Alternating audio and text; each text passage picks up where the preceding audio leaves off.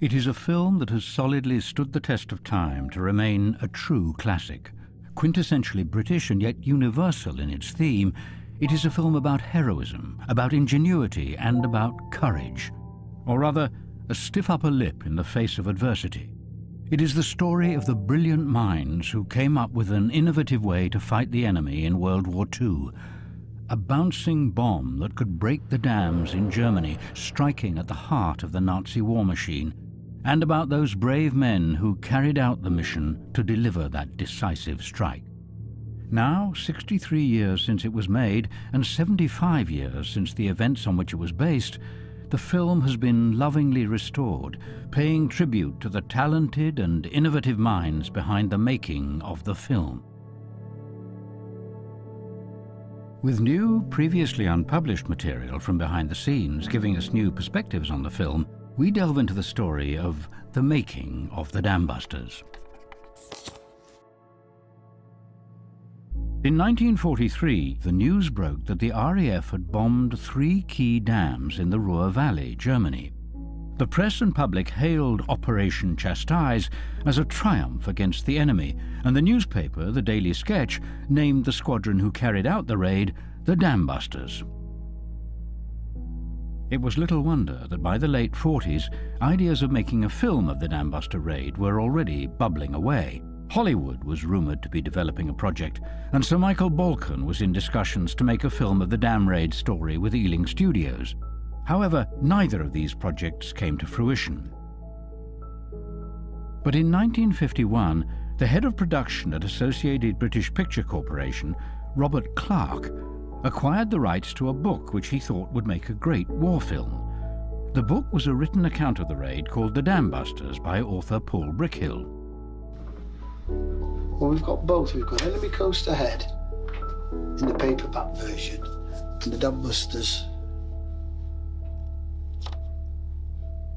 I think I've got one. Oh, there's one. All signed by the Dambusters. Not all of them, but some of them. But uh, that's an interesting copy, isn't it? Brickhill had been a journalist in Australia before World War II, learning his craft by writing pieces for the Sydney Sun. In 1940, he joined the Royal Australian Air Force and trained in Canada and England to become a fighter pilot. He went on to fly Hurricanes for 274 Squadron and then Spitfires for 92 Squadron. But in 1943, he was shot down over Tunisia and captured by the enemy and sent to a POW camp. This experience of the POW camp would end up being the subject and setting for Brickhill's first solo published book, The Great Escape, which was also turned into a film that many may recognise. He wrote the three most well-known British war books, um, all in a period of about five, six years. He wrote The Great Escape and The Dambusters almost simultaneously. In fact, he was working on the two books at the same time. And then he wrote um, Reach for the Sky in 1955 or 56. He wrote, I think, one novel um, in the 60s, and that was his last book. And he managed to live for the rest of his life, I think, on the, on the royalties that he made from the, the three best-selling um, war books, and of course the film treatments that came from all of them, the films that came out of all three. Though the film The Dambusters was initially based on Brickhill's book, the script also took great inspiration from Enemy Coast Ahead, written by leader of Operation Chastise, Wing Commander Guy Gibson.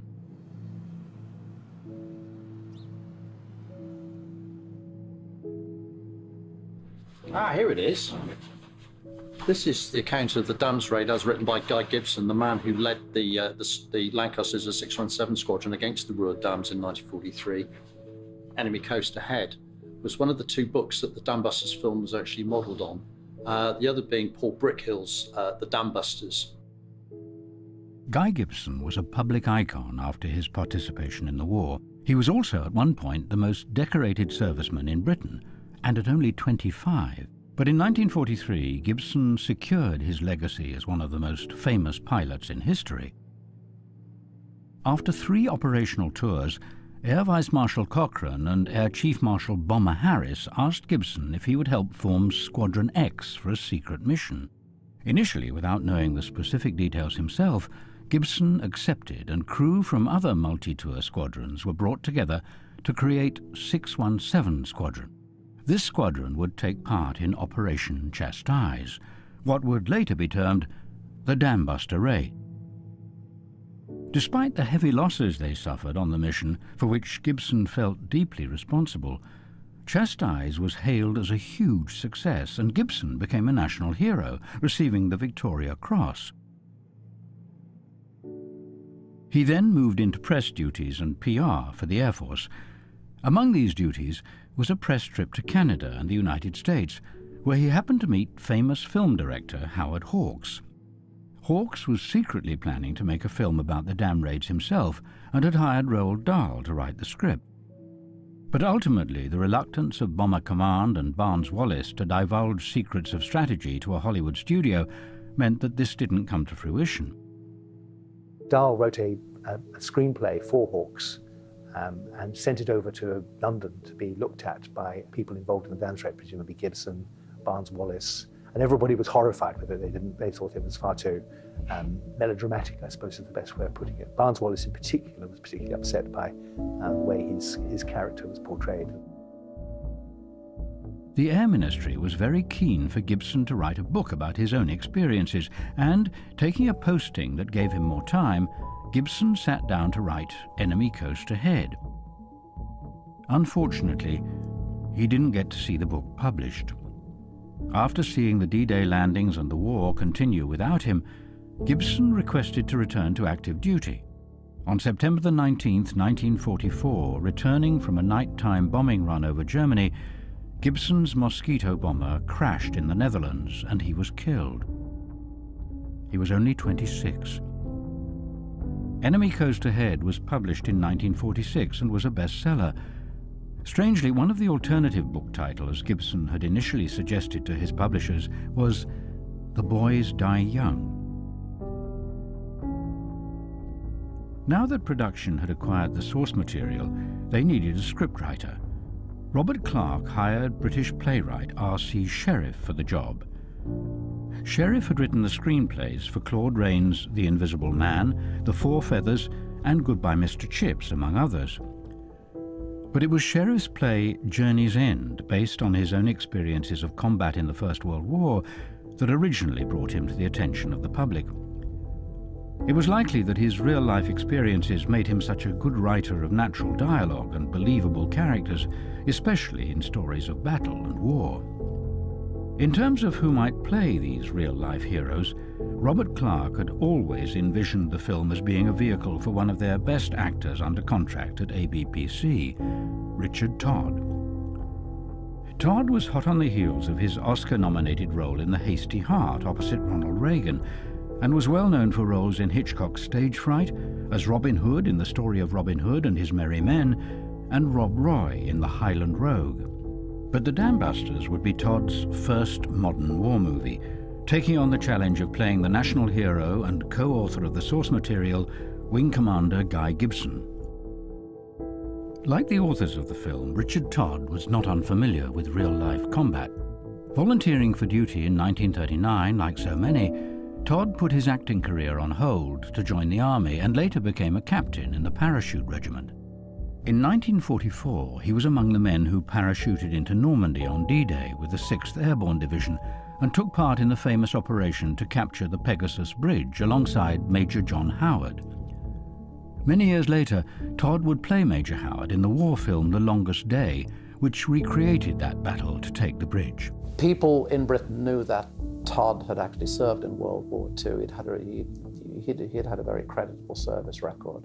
And I suppose the way he plays Gibson is as a man who needs to get a job done, and there is a heroism about it, but there's something very understated about, about him. He doesn't have to shout and yell.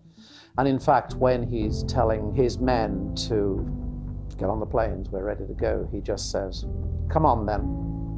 And that's it. And there's something rather impressive about the fact that that's the way he that's the way he approaches it. It's a job to be done. Richard Todd understood the military mentality, he understood military discipline, he understood the nuances of military language and deportment and how you conduct yourselves. So, as uh, the, playing the part of Guy Gibson in the Dambusters film uh, would, would have been a seamless transition for him. Alongside Todd in the Dambusters, Michael Redgrave was to be cast as the other lead. Redgrave was a classical stage actor and in 1954 had already been given a CBE for his acting. He would later be knighted. Although he was never fond of being called a film star, he had only a few years previously won Best Actor at the Cannes Film Festival for his role as the retiring schoolmaster in Anthony Asquith's brilliant film adaptation of the Browning version. In The Dambusters, Redgrave would embrace the challenge of playing someone 10 years his senior, the revered inventor of the bouncing bomb, Barnes Neville Wallis. Michael Redgrave uh, went and met Barnes Wallis. I think they got on quite well um, and um, was quite conscious of the fact he was paying um, a living person. I think Redgrave saw in Barnes Wallis that here is a particular type of man. He's driven, he's eccentric, he's basically unstoppable. He has an idea in his head and he will not let it rest. Before the war, Barnes Wallis worked on aircraft design at British plane builder Vickers, designing airships and later the clever basket-like geodetic structure used in the Wellington bomber. When war broke out, Barnes Wallis became involved in trying to improve bombing operations of the RAF. The enemy was defending against attack in more and more inventive ways, and Wallis began devising innovative ways to get around these defences. One such defence was to use giant torpedo nets surrounding warships, preventing divers and torpedoes from getting through, but not over. But you were friends with um, Barnes Wallis. So oh, yeah, absolutely. So the only time we went back to recover was with being uh, July the 7th, 1976. This is a copy of Enemy Coast Ahead, um, which Barnes Wallis signed for me he said to me, Mr. Hepner, where would you like me to sign the book? I said, right across the dam there. One day, whilst thinking back to his memories of skimming pebbles on a pond with his children, Wallis came up with the notion of skipping a bomb on the surface of the water, bouncing it over the nets. He began rudimentary tests, using marbles catapulted across a tin bath full of water in his garden. He discovered that a perforated sphere, much like a modern golf ball, travelled much further than a smooth sphere, but also that using backspin on the projectile, it would not only go further, but it would also slow down enough for the aircraft to reach a safe distance away from the blast. Wallis also realized that using backspin would mean that when the bomb finally broke the surface, it would drop and not carry on. And this could have application to destroying something other than ships, namely dams. The Air Force had little success in busting dams using conventional bombing, as even with a direct hit, which was very hard to do, the force of the water behind the dam would help absorb the shock of the blast. By dropping a bomb down the inside wall of the dam, an underwater explosion would combine with the force of the water and break the wall, busting the dam. Though many have argued about the extent to which Operation Chastise was considered a success, one thing is certain. The effectiveness of the bouncing bomb itself is without question. Barnes Wallis went on to create other innovative technical and engineering designs for aeronautics, including other successful bomb delivery systems. However, after Chastise, Wallis was deeply affected by the deaths of the men from 617 Squadron whose planes failed to return. He made a conscious effort never again to endanger the lives of air crews involved with his inventions. It was about people like Barnes Wallis um, who had that breadth of, uh, uh, of imagination. You know, he's only one man, but he had so many different ideas. Uh, and the fact that he sat down and thought about this problem, you know, I need to do something, he felt, for the war effort. Um, I need to try and, and do something unusual, something really dramatic that will, will benefit uh, and bring uh, the war to, to a, a close quicker than perhaps a, a sort of a war of attrition, which is what it was turning out to be in 1942. To direct the Dambusters, Robert Clark recommended a young and eager director called Michael Anderson, who was under contract with ABPC. Clark saw the film as being the biggest war film ever attempted, but at the lowest price possible. This scale and limited budget would require the skills of someone exceptionally resourceful and undaunted by the challenge. Anderson read the script and was up for the challenge. Michael Anderson had started out as a runner at Elstree Studios and went on to be assistant to many great directors such as Anthony Asquith, who directed Pygmalion and the Browning version, and the Bolting brothers, who made Brighton Rock and Seven Days to Noon. Anderson also worked with the great man himself, David Lean. It was whilst Anderson was working with David Lean on In Which We Serve as a production manager that he received his call-up papers for war. Lord Mountbatten himself recommended that Anderson finish his duties on the film before being shipped out. He was obviously a big fan of David Lean's films. Anderson would later say that whilst assisting these great British film directors, he learnt an invaluable lesson. Surround yourself with the best people. And of course he did just that. Anderson treated the production in the same way as The Raid, with meticulous planning, preparation and military precision, surrounding himself with amazing cast and crew and making sure that every detail of the film was as realistic as possible. To this end, he made the choice to shoot the film in monochrome, despite the fact that colour was an option. He felt it was essential to give the film more of a gritty, documentary feel, and they could use actual footage of the planes and bombs spliced into the film to add realism. Very much influenced, I think, by the, by the wartime documentary films. And Anderson worked, I think, in the documentary units during the war, learning his craft in the wartime. I'm sure his style of shooting is influenced by that. For the sequences over the Ruhr Valley, uh, it looks like it looks like documentary footage. There's nothing um, distracting about it being in black and white. It looks like a period piece, which it already was when the film was released, and that seems to work very well. One of the great benefits to the production was having the real-life participants of the raid on hand to tell Michael Anderson what it was really like at the time. The RAF gave their blessing to the production, and Group Captain Charles Whitworth, who was the wartime station commander at Scampton, became technical advisor and gave Anderson all the support he needed. Barnes Wallis, too, had read the script and gave his full approval. But what was important to him was to ensure every little detail was as accurate as it could be. Of course, there were things that the production couldn't show in the film as they were still deemed classified. When the production came to film the actual planes in flight, they also had to create a fake bomb attached to the Lancaster planes used in the filming in order to not reveal the shape of the real bouncing bomb, which might reveal its secrets.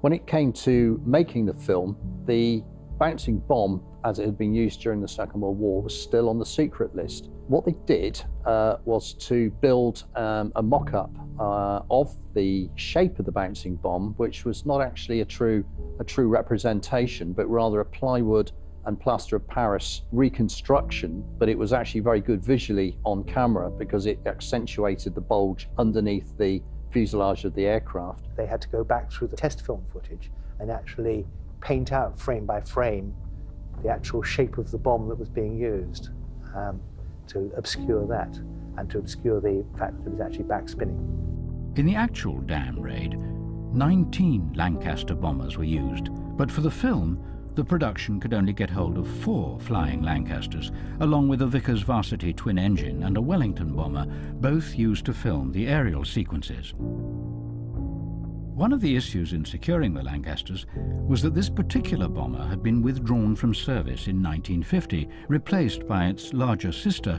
the Avro Lincoln bomber. Many of the Lancasters were scrapped for parts to replace bits and pieces in other planes, but the production managed to pull four planes out of retirement from nearby RAF Hemswell. Despite grueling weather and a challenging aerial shoot that ran on for some time over schedule, almost all of the crew was still taking part in active duty. Fresh from Operation Bold in Malaya, pilots from 83 and 97 Squadron, who had flight time in the similar Lincoln, were recruited to the cause of helping with the film. Flight Lieutenant Ken Sauter from 83 led three other pilots, Flight Sergeant Joe Komichik, also 83, Flight Lieutenant Dickie Lambert, and Flight Sergeant Ted Sawalski, both from 97. Both had escaped from um, the uh, Nazi invaders um, early on in the war and made their way around the world to get back uh, to England to join the fight against, the, uh, against Germany. Um, both those pilots had operational flying experience during the war years, so there were a number of people involved, not just cast, but the men who flew the airplanes, the Lancasters on the film, who actually had first-hand experience of combat. Ted Sawalski and Joe Komichik were just two of the hundreds of Poles who escaped occupied Poland during the war and risked their lives to travel to the UK and join the RAF. But these are guys who already demonstrated their, uh, their qualities. They'd probably fought in Poland, they'd moved to Romania, from Romania they'd taken ship to France, they'd fought in the Battle of France in 1940, they'd escaped from France to Britain, they'd they had the same sort of battle that Barnes Wallis did to convince the establishment that they were perfectly capable of doing the job. You also, of course, have got New Zealanders and Australians and Canadians, which shows you how diverse Bomber Command was um, uh, at that time, and it got more so. On one of the first days of filming with the Lancasters, director Michael Anderson wanted to get one of the most impressive shots in the can the shot where one of the bombers flies low over the head of Richard Todd. It was a shot that required perfect timing between Todd and the Lancaster pilot. They caught the shot perfectly, but just out of frame because it was flying so low, the Lancaster's tail wheel caught the roof of a nearby hangar. The officer from the control tower ran out shouting, You told me they would be flying low, but that's going just a bit too far. One of the big problems in shooting the Lancasters in flight was that even the dangerously low height of 60 feet didn't look that low on film. On camera, it photographed more like 200 feet. In some cases, the film pilots had to go down to 30 feet in order to capture the look of low flying. We walked in we said, uh, We've come to get a parachute, we're doing the flying unit everything. And the bloke in there said, parachute. He said, it ain't going to be no good to you. He said, at the heights you're going to fly it. He said, you wouldn't have time to pull a ripcord. Pilot Ken Suter at one point flew so low over one of the lakes that the propellers drew up water spouts into the blades, and there were at least a couple of occasions when they clipped trees and landed to find foliage caught in their wheels. Some of the crews actually asked what would happen if one of the aircraft went in and crashed during the filming, uh, to which Associated British replied, we can the film. Although Michael Anderson was able to get some second unit footage of the actual Ruhr Valley, the aerial photography of the planes flying low over the water was shot in Windermere, in the Lake District, and over the Derwent Valley Reservoir. The dam at Derwent posing as a pretty good stand-in for the Möhne Dam, having similar turrets either side of its dam wall. Although the production shot most of the takeoffs and landings at RAF Hemswell, many of the ground exteriors of the base are at RAF Scampton, where 617 Squadron was based for the actual operation. Scampton was a 24-hour operational airfield, which is why it was only really used for flying operations at the weekend with the film. Another airfield that was used um, nearby was um, RAF Kirton in Lindsey, uh, which was a grass airfield, and it resembled very closely the type of airfield that Scampton would have been in 1943. At Elstree, set builders recreated interior locations with meticulous detail. This included the offices of bomber Harris, Gibson, and Barnes Wallis, and Five Group's underground operations room from where Chastise was planned and overseen. This five-group operation room was actually sealed up at the end of the war, but the RAF allowed the production designers on the film to access it, photograph it, and recreate it at Elstree in fine detail. It was this detail that typified the production of the film, bringing across a true sense of realism to the audience that the filmmakers wanted to achieve.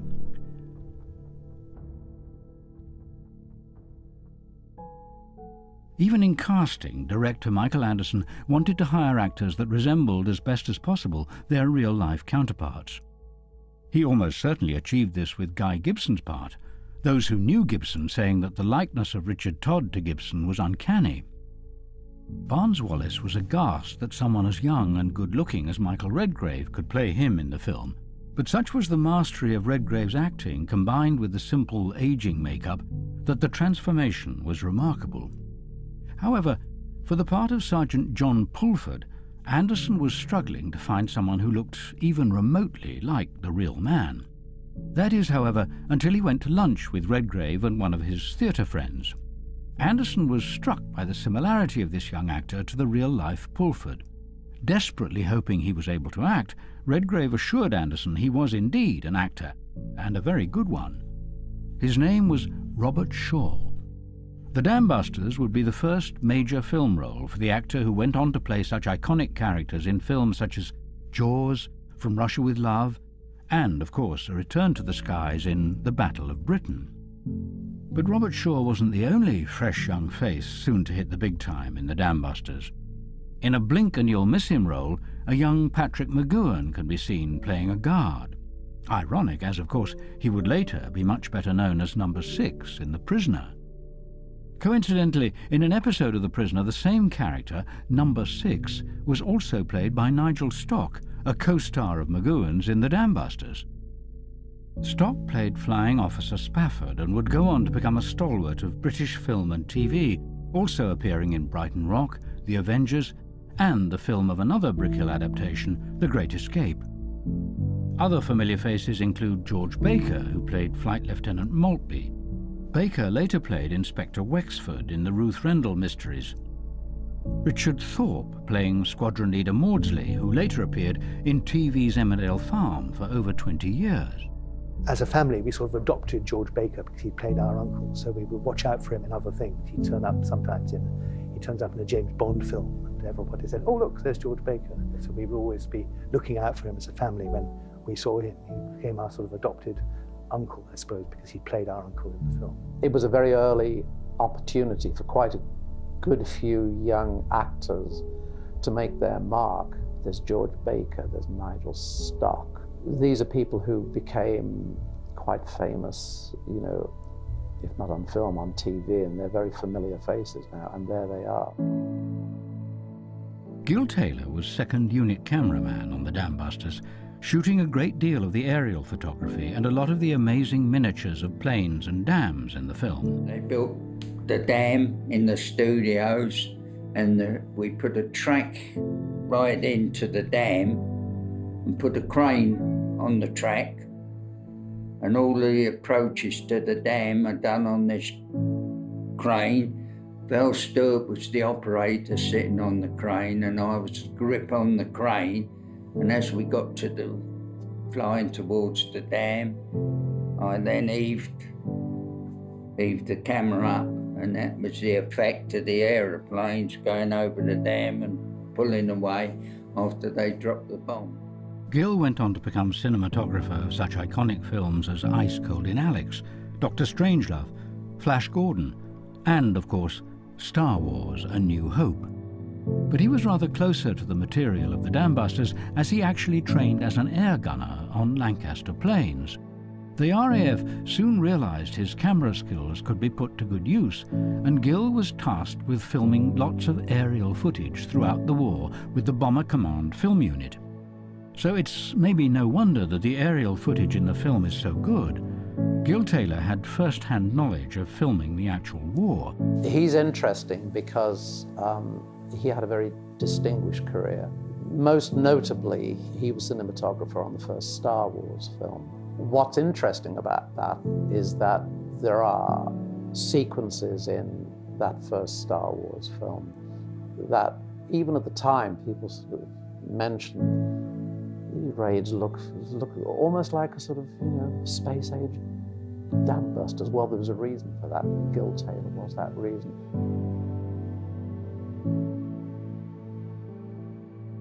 The use of miniatures and back screen projection was key to the film's action sequences.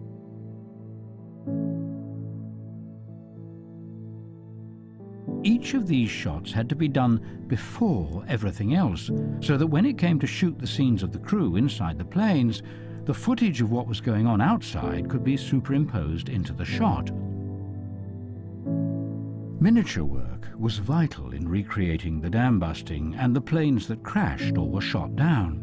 Some of the miniatures for the Ruhr Valley measured up to 300 feet long and filled entire sound stages at Elstree. There was also a great deal of water involved in these miniatures. The production actually filmed some of the miniature work in the same giant water tank at the National Physical Laboratory in Teddington that Barnes Wallis used 10 years before to test models of the bouncing bomb. Going down to Teddington to the laboratories there, uh, where they were doing the, we were doing the testing down there. Or not, not doing the testing, it was done there, but we were doing filming down there with um, and these tanks. Um, it was interesting indeed, and that's when Barnes Wallis came down. But I mean, I didn't, I didn't have any conversation with him. But obviously, you could see he was a man who had some charm. Despite reenacting the most dangerous parts of the bombing raid in miniatures and mock-ups, this didn't remove the danger from the actual planes in the film. The Lancaster pilots and their crews and those flying the camera planes pushed their aircraft to the limit of what could be done and captured footage that was groundbreaking for the time. After the film was completed, Air Vice Marshal John Whitley wrote a letter of praise to the station commander at RAF Hemswell, stating, I know this meant a great deal of time being sacrificed by both air and ground crews. Their only reward could be that they were taking part in a picture which might possibly do much to enhance the prestige of the RAF, and that this will have been the result of all their good work is now beyond a shadow of a doubt. The hardest thing to find. I don't know really. Um, I suppose the um, eight sheet um, the poster. Poster, yeah. I mean, I mean, you know, the chances of finding another one of those is unbelievable. When the film was completed in 1955, it was given a Royal Command premiere.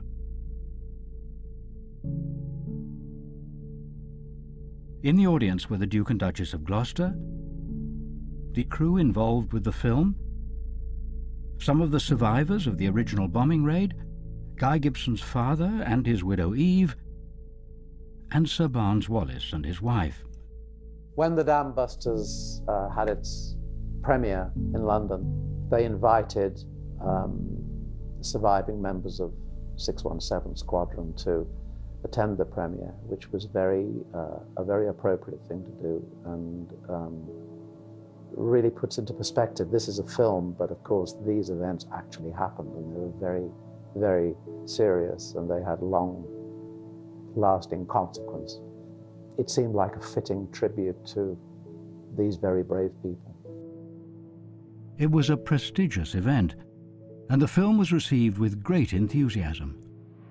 It was also the first time audiences got to see on screen the way the famous dam-busting raid was carried out. Until the film came out, the general public didn't know that it actually was how the bombs were delivered. And so it was a bit of a shock, a bit of surprise, a bit of an ooh-ah factor, I think, when the people suddenly realized, oh, that actually happened. That's how it actually happened. It was also the first time the public got to hear the score to the film, which included a little piece of marching music by composer Eric Coates. Da, da, da, da, da. Da, da, da, da, da, da. Da, da, da, da, da, da, da, da, da.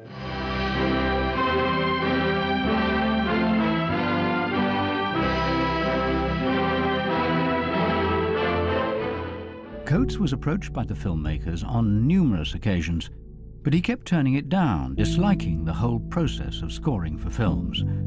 It was only when the director and Associated British Pictures pressed upon him that the film was of significant national importance that he decided to hear them out. When they asked if he felt he had something in mind, he replied, Yes, I think I finished it yesterday.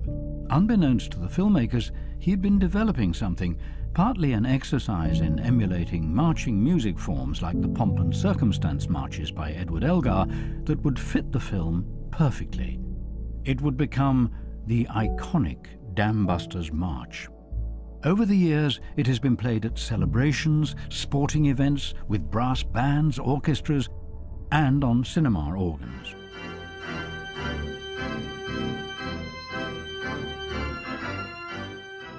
It's one of these pieces of music that's got the magic that can uh, excite people. It's automatically, as soon as you hear it, as soon as you hear the, the opening strains of it, people know. And, and, and you can see them change because uh, they're ready for it. It's just a very stirring piece of music. It's very rare you can get a piece of music that'll suddenly, just by the opening chords, bring people round to it. Perhaps most importantly, the piece often accompanies RAF celebrations and parades.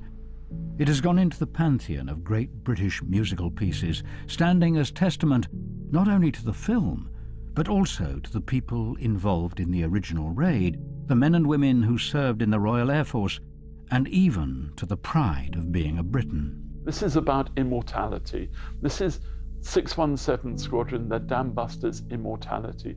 This movie, we will be watching this movie in 50 and 100 years' time. We will remember the heroism and the innovation and the just sheer guts of all these people that were involved in it.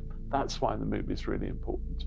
The Dam Busters film has gone down in uh, in cinema history, and uh, not only cinema history, but in, in British popular history as perhaps one of the, the best known and best loved uh, films of the 20th century. Just everything about the film is well thought out. It's serious. It's rather solemn in some ways. It's not what you would call a happy ending, but it's a deserved ending. And I think people over the generations have really responded to that.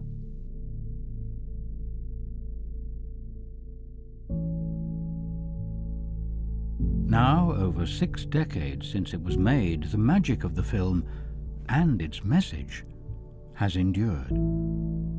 And now, with new technology at our disposal, the film has been lovingly restored frame by frame to its original glory hopefully ensuring that a new generation and generations to come will get to appreciate this wonderful piece of filmmaking and the story of 617 Squadron, the story of the Dambusters. The final sequences of the film are probably among the most poignant of the whole production. Redgrave playing the part of Barnes Wallis asks Gibson if he's going to get any sleep after the night's operations, and Gibson uh, turns to him and says, I've got some letters to write. And uh, he turns his back and slowly walks away into the distance until he's lost to view.